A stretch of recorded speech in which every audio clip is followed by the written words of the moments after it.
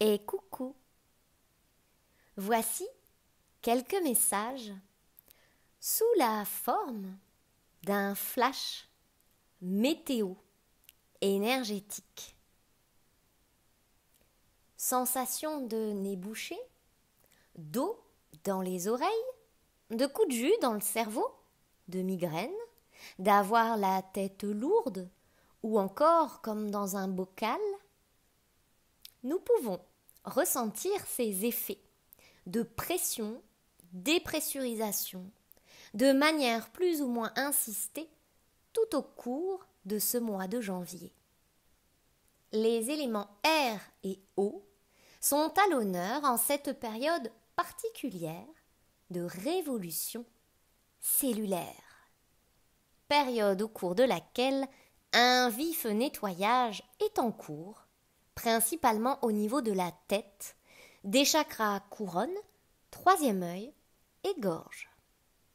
Privilégions alors le calme, la musique douce, le silence, la détente, l'eau, douche, bain, s'hydrater. Évitons les odeurs entêtantes, les bruits assourdissants, la fumée, le tabac. Évitons de stimuler nos yeux par les écrans et toute concentration excessive.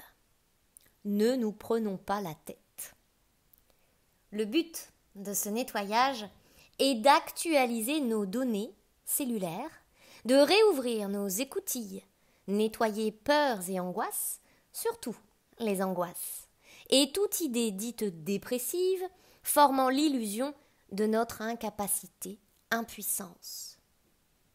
Ce processus accélère et démultiplie les cellules, qui peuvent ainsi nous régénérer énergétiquement aussi. En somme, nous nous reproduisons vitesse grand V, afin de décupler aussi nos idées et notre puissance. Ça pousse au portillon, et nous pouvons ressentir cette vive allure impressionnante dans la tête, essentiellement, mais aussi la gorge, et toute la sphère dite ORL. Ce qui nous gardait encore sur une réserve quant à la reconnaissance et l'expression de nos talents se veut purifier pour que les vannes s'ouvrent. Et lorsque les vannes s'ouvrent, et lorsque les vannes vont s'ouvrir, c'est une vive curiosité qui s'invitera en nous, nommée esprit. L'esprit curieux vif, sera encouragé à nous indiquer le chemin vers lequel nous orienter. Coordonnés au cœur, nous ressentirons la saine nécessité de ne plus résister à ce pourquoi nous sommes nés. Des vocations vont ainsi se révéler, des envies impérieuses se susciter. Créer n'est plus une option, mais une vocation Là est le principe même de vie, qui se prépare à nous mener de presser le pas. Les résistances au changement se veulent source de labeur, un labeur dont nous pouvons désormais bien nous passer. Ne pensons plus devoir passer notre tour, patienter, attendre, à nous sentir frustrés ou appauvris d'idées. Ne pensons plus. Ce nettoyage nous convie à accepter aussi les aides, quelles qu'elles soient, pour cesser de nous croire seuls et isolés. Ce nettoyage sert notre évolution et nous propose de traverser la période de transition qui se vit plus en douceur, sans résistance mentale. Nous ne sommes pas égarés. Entendons bien, nous ne sommes pas égarés. Soyons en paix avec ce fait. Tout suit son cours, et nous aussi, nous suivons le rythme qui est approprié pour nous-mêmes. Le réalignement vibratoire est à la fois turbulent et salvateur. Cela se vit en plusieurs phases, paliers, tout comme l'avion décolle ou atterrit. Il ne peut le faire d'un coup net.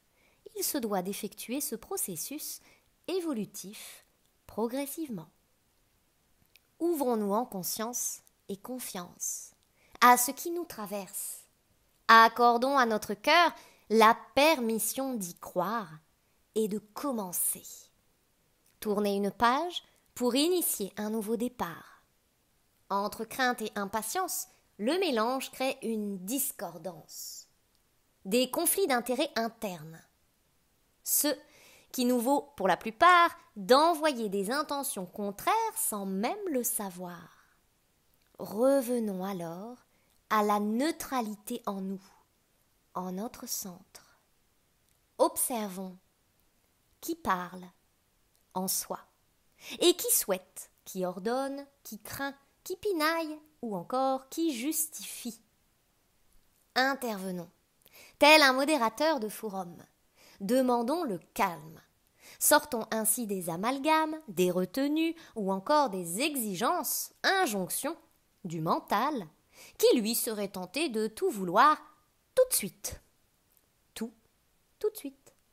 Notre âme sait que ce processus nécessite un retour au calme, une disposition d'accueil et d'ouverture, que le temps se veut fluide et juste à notre équilibre à venir. Nous intégrons ainsi un nouvel équilibre en nos ressources, nos beautés, nos dix défauts et tous les aspects et éléments de notre être. Nous sommes en voie de réaliser le plus sincère assemblage qui soit en soi.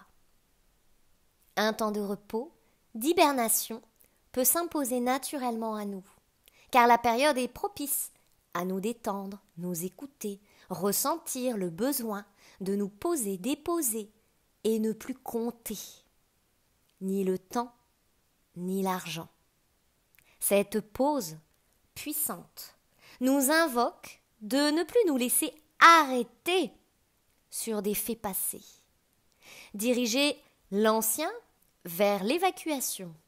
Au revoir.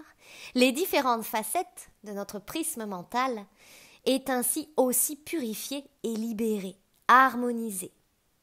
Ce prisme mental est ainsi purifié, libéré, harmonisé. Et nous fusionnons. Nous fusionnons nos opposés, chers aimés. Nous nous préparons ainsi à créer l'impossible avec grâce, confiance et assurance. Les lunes de ce début d'année vont nous y aider fortement. Et nous verrons que tout va s'accentuer, surtout notre certitude, celle envers notre intuition jusqu'à ce qu'il ne nous soit plus possible de douter de nous-mêmes.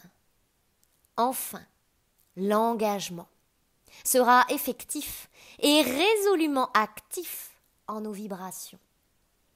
Et toutes les peurs qui nous ont tant limités, bloqués, freinés, toutes les contrariétés, toute cette surcharge mentale s'en trouveront dissoutes et définitivement abandonnées, tout comme l'ancien la dite confusion mentale, les interprétations, les projections ne sont que le fruit d'illusions voilées. Les voiles, ainsi, se lèvent.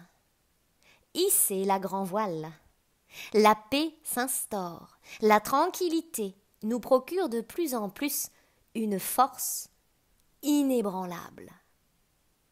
La lune nous guérit, elle aussi, et tout comme le soleil à l'unisson, les astres nous amplifient d'énergie à foison. Chassons les insécurités par le souffle de notre esprit et réaccueillons nos magies éclairées.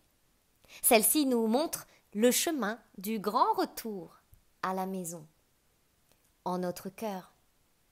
Retour en notre cœur. Nous qui pensions vivre des cauchemars éveillés depuis tant d'années, accablés de nuits noires, d'angoisse, de déprime, nous allons être surpris de constater que la levée des voiles permet d'oublier ce qui fut contrarié. Lorsque la lumière nous traversera de part en part, il n'existera plus aucun reflet autre que notre être amplifié, libre.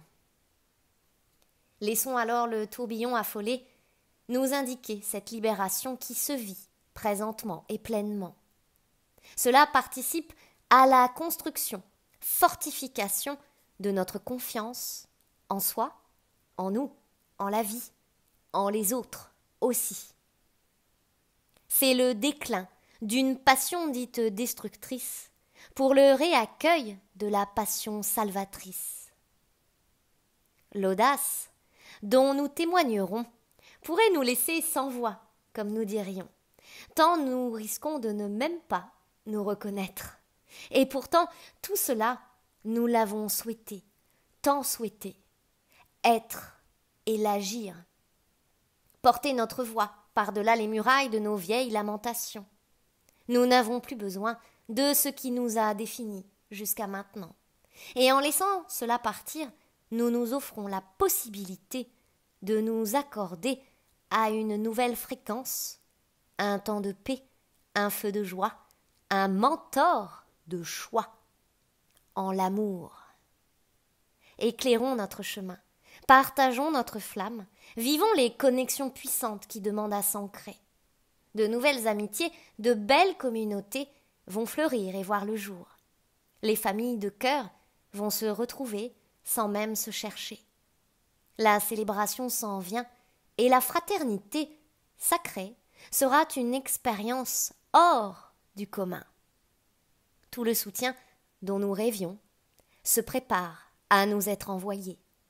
Tout est parfait dans le meilleur des mondes, le nôtre. Et déjà initié en soi, ce monde, prochainement révélé, face à nous, à tous nos yeux. Puissions-nous alors accueillir en conscience, pleine conscience, ce qui se vit dans l'instant présent, ce nettoyage en bonne et due forme. Avec amour, Cléophée.